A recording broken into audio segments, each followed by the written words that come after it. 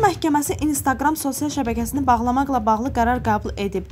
İran baş prokurorunun köməkçisi Cevad Cavidniya məhkəmə qərarının hələ tətbiq edilmədiyini açıqlayıb.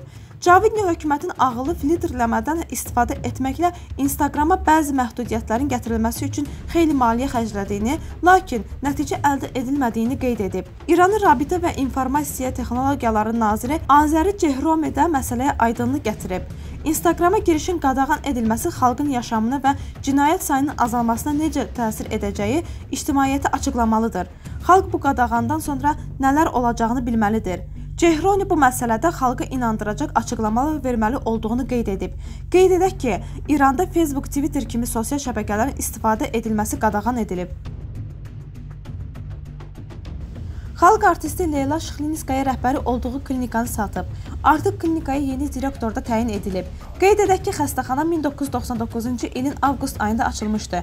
Mərkəzə açıldığı gündən etibarən Leyla başçılıq edib.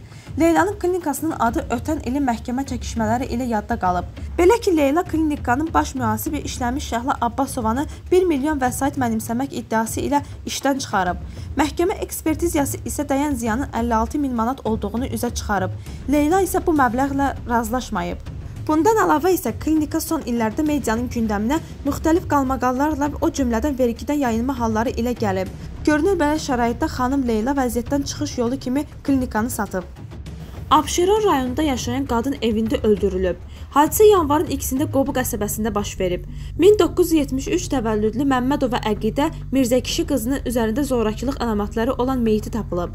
Məmmədovanı öldürməkdə şübhəli bilinən qayını Rafiq Məmmədov saxlanılıb.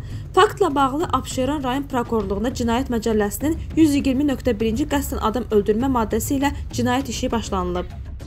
Erməni ordusunun son zamanlar hərbi istiqamətdə heç bir uğuru yoxdur. Bunu açıqlamasında erməni hərbi ekspert keçmiş kəşfiyyatçı Vova Vartonov deyib. Onun sözlərinə görə Azərbaycan ordusunun bütün parlamentləri üzrə erməni ordusunu üstələyib. 2018-ci ildə Su-30 CM-ləri alacağımızla bağlı şayələr gəzirdi. Biz hələ də onları görə bilməmişik. Naxçıvan istiqamətində ciddi ərazi itkilərinə məruz qaldıq. Mən 1 il yarım əvvəl xəbərdar etmişdim ki, türklər Qarabağa gedən əsas nəqliyyat arteriyasını nəzarət altına alacaqlar. Mənə o zaman məsləhət gördülər ki, panika yaymayım. Türklər bizi İranla bağlayan və Qarabağ üçün əsas nəfəslik olan dövlətlərarası yolu Naxçıvan istiqamətində vizual şəkildə nəzarətdə saxlaya bilir. Onun sözlərinə görə Azərbaycan ordusunun növbəti hədəfi Geqarkonik vilayəti olacaq. O Azərbaycan ordusunun bununla Dağlıq Qarabağın xarici dünya ilə bütün əlaqələrini tam nəzarət altına alacağını deyib. Rusiyada 1 yanvar 2019-un gömrük rüsumlarında olan artım ümumi olaraq Rusiyadakı inflyasiya proseslərinə də təsir göstərəcək.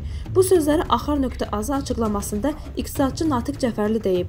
O bildirib ki, bunun əksi mümkün deyil.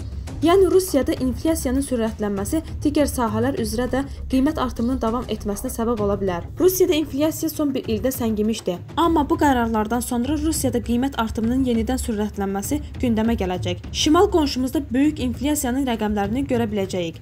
İqtisadçı vurğulayıb ki, Cənubi Qafqazda Rusiyada gedən dəyişikliklərin daha çox təsir edə biləcəyi ölkə Ermənistandır.